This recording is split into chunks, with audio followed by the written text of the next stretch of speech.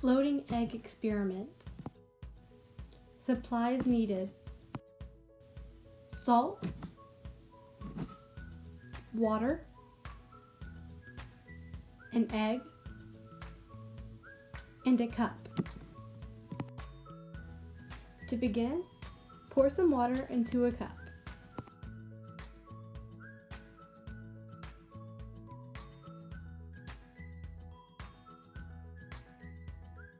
Then place an egg into the water.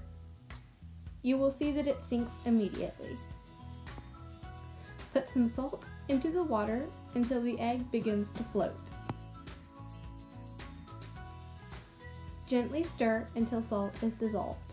You will see that the egg is floating on top of your water. Why? Because like in the Dead Sea, the water becomes so dense with salt that many things that usually cannot float can float on top of it. If more water is added to the cup, the solution will become diluted and the egg will begin to sink again.